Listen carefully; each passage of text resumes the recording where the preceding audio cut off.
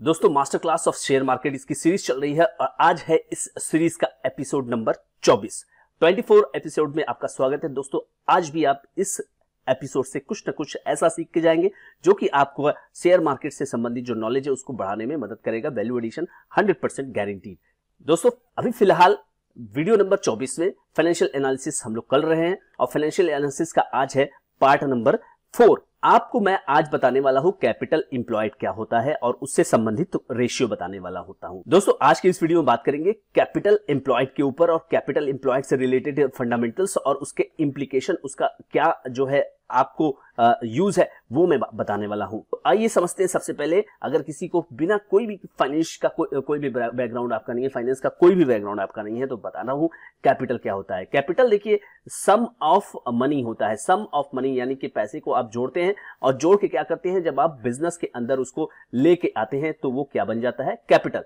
जिसको आप बोलते हैं हम लोग अपनी भाषा में क्या बोलते हैं उसको? उसको बोलते हैं पूंजी।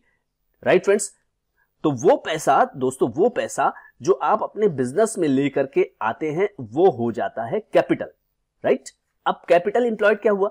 देखिए, यहाँ पे थोड़ा सा डिफरेंस है कैपिटल और कैपिटल इंप्लॉयड में। जैसे मान लीजिए कि आपने दस करोड़ रुपया बिज़नेस में लेकर के आप आए तो वो हो गया आपका कैपिटल ठीक है? अब उसमें से आठ करोड़ रुपया ही यूज़ हो रहा है। और दो करोड़ रुपया फ़िलहाल यूज़ नहीं हो रहा है, कोई भी उससे एक्टिविटी नहीं हो रही है। कैपिटल तो आप दस करोड़ लेके आपके आए हैं, लेकिन आठ करोड़ यूज़ हो रहा है तो इंप्लॉयड क्या हुआ? आठ करोड़ हुआ।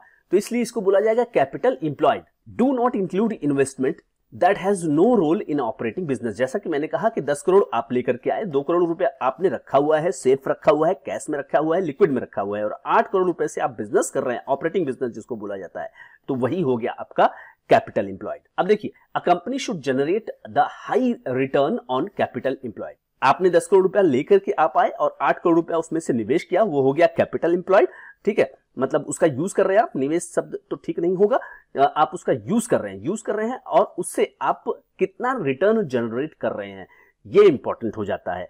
तो ये जो चीज़ है हाई रिटर्न मतलब आपके निवेश पर हाई रिटर्न आना चाहिए। क्योंकि देखिए, अगर आठ करोड़ रुपए है आपके पास या दस करोड़ रुपए है आपके पास तो आप कहा उसको सेफली जमा कर सकते हैं?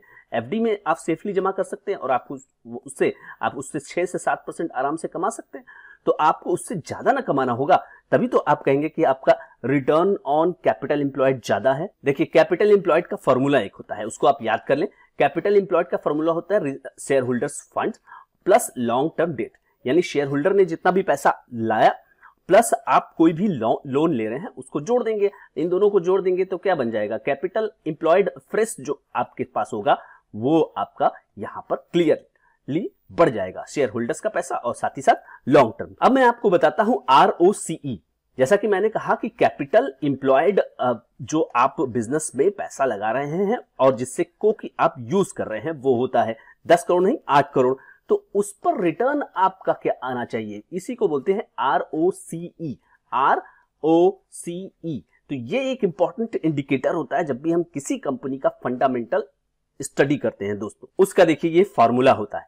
Operating profit divided by capital employed into hundred अब आपके दिमाग में प्रश्न आ रहा होगा कि ऑपरेटिंग प्रॉफिट क्या होती है? ऑपरेटिंग प्रॉफिट क्या होती है कि जैसे मान लीजिए आपने सौ रुपए का सेल्स किया और उस सेल्स को बनाने के लिए मतलब उस माल को बनाने के लिए मान के चलिए पचास रुपया लगा था तो आपका पचास रुपया ऑपरेटिंग प्रॉफिट हो गया। मान लीजिए उसको बनाने में आपका लगा था साठ रुपया तो आपका ऑपरेटिंग प्रॉफिट ये चालीस रुपया हो जाएगा। अब ऑपरेटिंग प्रॉफिट के बाद एक नेट प्रॉफिट आता है तो उसमें जैसे मान लीजिए चालीस रुपया बचा ऑपरेटिंग प्रॉफिट और उसके बाद कुछ खर्चे और किए आपने इनडायरेक्ट एक्सपेंसेस बीस रुपया तो आप घर पे क्या लेके जाएँगे? आप घर पे लेके जाएँगे बीस रुपए का नेट प्रॉफिट जिस पर कि टैक्स वगैरह देने के बाद ही आप लेकर के जाते हैं उसको। तो कहने का मतलब है कि ऑपरेटिंग प्रॉफिट वो चीज़ है जो कि, जिसको कि आप अकाउंटिंग की भाषा में दोस्तों ग्रॉस प्रॉफिट बोलते हैं। अकाउंट्स अगर आप पढ़े होंगे या नहीं भी पढ़े हुए तो उसको जानिए कि इसको ग्रॉस प्रॉफिट भी बोलते हैं। अब देखिए, सबसे इंपॉर्टेंट चीज़ हाई आर का मतलब क्या होता है? अगर किसी कंपनी का देखिए हाई आर है, इसका मतलब है कि वो कंपनी वेल्थ जनरेट करने में सफल रहेगी और अपने शेयर होल्डर्स को दोस्तों शेयर होल्डर्स को अच्छा फ़ायदा देने में सफल हो सकती है। दोस्तों, फ़िलहाल मैं आपको लेकर के आ गया हूँ स्क्रीनर पर और हाल ही की लिस्टेड कंपनी है बजाज हाउसिंग फाइनेंस उसका आप देखिए, यहाँ पर आर ओ सी